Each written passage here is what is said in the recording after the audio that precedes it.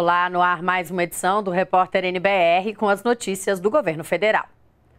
O Produto Interno Bruto, o PIB, registrou um aumento de 1,4% no terceiro trimestre, em comparação ao mesmo período do ano passado. Os investimentos tiveram o melhor desempenho em quatro anos. Os números acabam de ser divulgados pelo IBGE. Em comparação ao segundo trimestre, houve crescimento de 0,1%. Indústria e serviços cresceram, respectivamente, 0,8% e 0,6%, puxados pela indústria de transformação e pelo comércio. O consumo das famílias cresceu 1,2%, enquanto os investimentos aumentaram 1,6%. Foi o primeiro crescimento dos investimentos após 15 trimestres seguidos de queda ou estabilidade.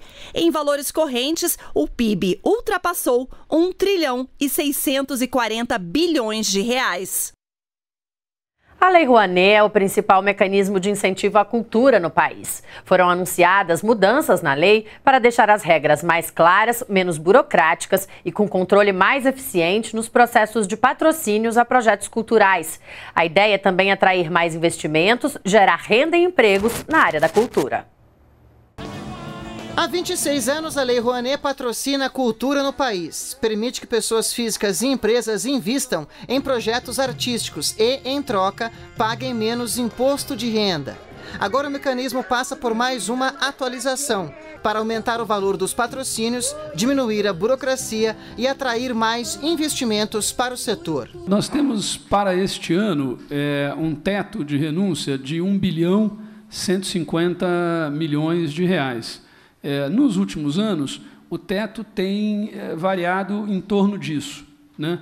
E a expectativa é que nós tenhamos uma manutenção aí é, desse patamar. O fato é de que esse teto não vem sendo atingido. E uma das metas com as quais nós estamos é, trabalhando, e algumas dessas medidas que estão sendo anunciadas hoje, elas apontam para essa direção, é justamente de buscar é, é atingir a meta de 100% de utilização é, do teto de renúncia fiscal. Uma das principais novidades da Lei Rouanet é que agora projetos com valor igual ou superior a 3 milhões de reais devem apresentar um estudo de impacto econômico. A ideia é mostrar como a produção cultural pode gerar renda, empregos e movimentar a economia do país. A atualização da Lei Rouanet tem ainda os seguintes pontos. Iniciantes não terão de comprovar atuação na área relacionada ao projeto. Os valores do patrocínio aumentam de 700 mil para 1 milhão e meio de reais para pessoas físicas e microempreendedores. De 5 milhões para 7 milhões de reais para empresários individuais. E de 40 milhões para 60 milhões de reais para grandes empresas. No lugar de quatro, apenas dois comprovantes vão ser exigidos para a liberação dos recursos. São certidões que comprovam não existirem dívidas com o governo federal. Aumento de 25% no número e valor de projetos para a região sul e os estados de Minas Gerais e Espírito Santo. Para as regiões Norte, Nordeste e Centro-Oeste, permanece o percentual de 50%. A nova Lei Rouanet ainda vai permitir ações compensatórias na prestação de contas de um projeto. Muitas vezes você não captou na íntegra, você teve de mudar de lugar por outros motivos e era entendido como simplesmente não, não executou. Agora você tem a chance de explicar por que não fez, compensar de outra forma. Se você propôs um exemplo num teatro com uh, mais pessoas, pessoas, mais público. Agora você tem um teatro com público menor, o teu público atingido, alcançado, né, ele, ele também é. Então, assim, tem formas de você explicar e compensar essas medidas. A dinâmica do mundo da cultura, a necessidade de se melhorar a governança e a gestão da Lei Rouanet exige sempre uma melhoria contínua, né? Uma descoberta importante que ajuda a entender um pouco mais sobre o processo de evolução da vida no nosso planeta.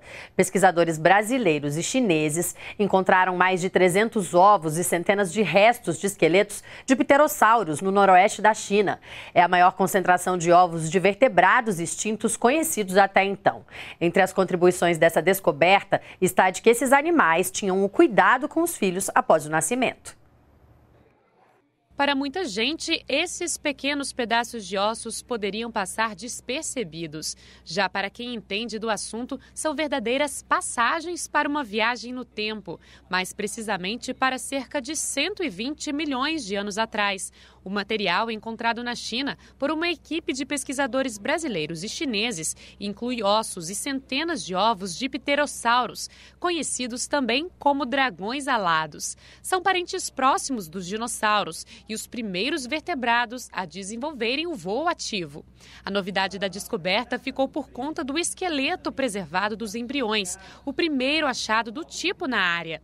A pesquisa foi apresentada no Museu Nacional da Universidade Federal do Rio de Janeiro pelo paleontólogo Alexander Kellner. Um dos, um dos, principais aspectos dessa pesquisa foi justamente você encontrar embriões preservados em três dimensões, o que nos dá uma oportunidade para poder observar as relações dos diferentes ossos do embrião ainda dentro do ovo. Então nós utilizamos a tomografia computadorizada e nós descobrimos que os ossos que estão vinculados ao voo do animal, à asa do animal, estavam menos desenvolvidos do que os ossos dos membros posteriores. Isso significa dizer que esse animal, depois que nascia, possivelmente podia caminhar, mas não podia voar. E esse é um dos principais aspectos dessa pesquisa que a gente acabou de anunciar. O público poderá conhecer a descoberta em uma exposição com réplicas dos achados, que ficarão expostas a partir desta sexta-feira no Museu Nacional do Rio de Janeiro. Nós ficamos por aqui. Você pode rever as reportagens no YouTube e toda a nossa programação também está na página da NBR na internet. Continue com a gente na NBR, a TV do Governo Federal.